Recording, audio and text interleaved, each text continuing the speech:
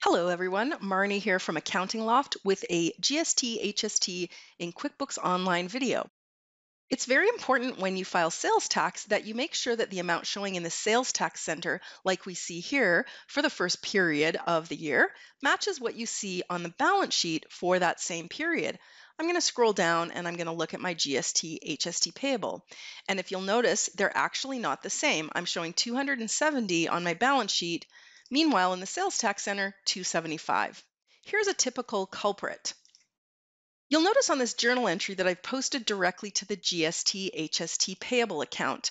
And when you do that, you want to make sure that you designate something in the sales tax column. I'm going to do so now, and I'm going to click Save and Close.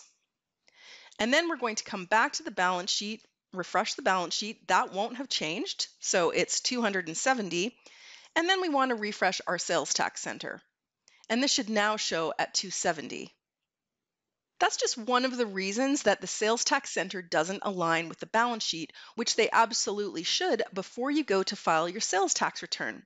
There are a number of other reasons why these numbers won't align, so for more information, stay tuned to my channel or you can reach out to me directly.